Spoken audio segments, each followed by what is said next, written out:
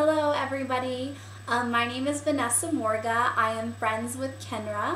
Um, I'm currently on the world race right now. If you don't know what the world race is, I am on an 11th month missionary trip to 11 different countries. I'm currently on um, month seven here in Romania. It's a little chilly out right now. I just actually, my last country I left was India, so it's quite a big difference. I'm so blessed to be back in Europe and to be around um, somewhat Western amenities. I'm super thankful for that. Um, so Kenra asked me to just share with you a little bit of what God's been teaching me on the world race, and so um, as I was sitting and thinking about it, I mean, you can imagine that over seven months going to so many different nations um, and just seeing so many different people from a variety of walks of life um, that that he's just taught me so many lessons in that and living in community. I serve um, always with a team of seven, um, so we live right next to each other, and that's probably been one of the biggest ways God has sanctified me is um, through learning to um, just really lay myself down um, and to um, lose any type of entitlement um, that I think that I deserve certain things. He's taught me a lot through that. But of all the things that I really feel like he's pressed upon me, um, I think the thing that he said since month one is just Vanessa, keep your eyes fixed on Jesus. Um, in all of your trials and all of your triumphs, whatever it might be, um, focus on my son.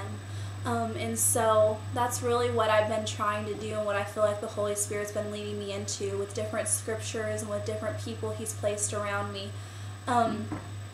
And in that, I feel like He's been asking me to look into the fullness of who Christ is. Um, and so He's so many things to us, isn't He? He's our husband, He's our Lord, He's our Savior, He's our friend, our companion, our refuge. Um, but one of the things he really opened up to me is that husband part um, that he talks about in the Old Testament with Hosea. You know, um, there's that verse in chapter 2, it's verse 16, where he says, You will call me husband and you will no longer call me master.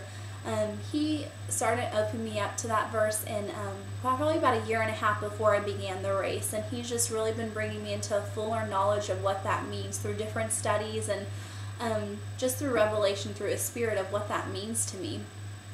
Um, and I love it because He's our provider. He's the one that pursues us, um, that loves us, that stands by us through all things. And so, in a study that I did through Matt Chandler, it actually goes into the Hebrew um, of what husband means and what I mean, I love this so much. Um, it's three words that are used for husband in Hosea. And the first word means, um, I know all of you. I completely know all of the good, the bad, and the ugly. Um, full well, um, you are known by me. And then the second word that follows that is, um, I will never leave you. It's a word that's used in the Song of Solomon, and it's like, even if a fire comes, I'm standing right next to you, I'm not leaving. And I love that, that he's saying, Vanessa, I know every single thing about you, and I still will never leave. In fact, I pursued you knowing full well all those things. Um, and he's saying that to all of you as well. And what I love that the third word that um, is used in Hosea is um, is intimacy and oneness with Him. And so, what's so beautiful about that to me is that He's saying, um, I know all of you, I'm never going to leave, and I'm calling you into intimacy and oneness. But until you understand those first two, you're not going to be able to come to the third. So believe me when I say that I'm staying, that I'm faithful, and that I'm true. And so um, he's really been teaching me that. Um, I feel so blessed. And what I love is that when you keep your eyes focused on Christ and who He's calling you to be, in that He shows you who you are. And so He's saying to me, I believe in this kind of last half of my race is Vanessa, if I'm your husband, then that means that you are indeed my bride. What does it look like to operate as the bride of Christ? Um, what what is our king? What is our husband like? How did he act when he was on earth? He was a man that was a servant. He was humble and he was meek, but he was also bold um, he did the Father's will, and um, and he was led um, by whatever the Father told him to do. So again, just focusing on God and His will, being in His Word, and being led by His Spirit. Um, we have a saying in our group that we want to be a people that is Spirit led and Word fed, and so I believe that He's really been calling me into that. Um, so that's just been such a blessing. Um, I pray that it blesses you. I'd really encourage you all as women to um, open the book of Hosea if you haven't lately and really read um, about what God is showing you through that book. Um, that He's a God that sees all of our ugliness. Um, that he didn't choose a bride that's pretty and beautiful and virginal. He chose the prostitute. And, and when she becomes unfaithful, he still goes back and pursues her. Um, a kind of love and compassion like that is so hard for me to fathom, but when I do ponder it, it really um, just empowers me to go out and to love as I have been loved. And so I pray that blesses all of you. Um, I could share so many other stories of what he has taught me.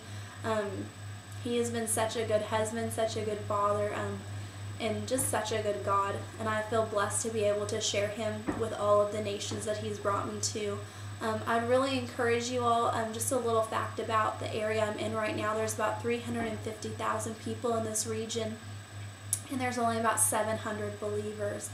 Um, we've really just been praying what Jesus told his disciples to pray when he looked at the um, at the crowd in front of him that the harvest is plentiful, but the workers are few. To pray to the Lord of the harvest to send more workers, and so I would encourage you to join me in that that God would just send more workers out here to Romania and throughout the world um, so that many would come to know Jesus as their Lord and Savior and to exalt Him among the nations. Um, I pray you all have a blessed conference. I pray that you grow in the love and the knowledge of the Lord Jesus Christ. Um, and Kenra did tell me um, to kind of tell you where I am with funding. It's been amazing what God has provided. I needed $15,500 and now I only need um, about $1,200 to fully fund my trip. Um, if you have any questions on how you can help me, um, you can go to my blog. It's vanessaMorga.worldrace.org. Um, or you can ask Kenra and she'll know how to do it. Um, I hope her speech is awesome. I know it will be, and I pray that it blesses you. You all have a great day.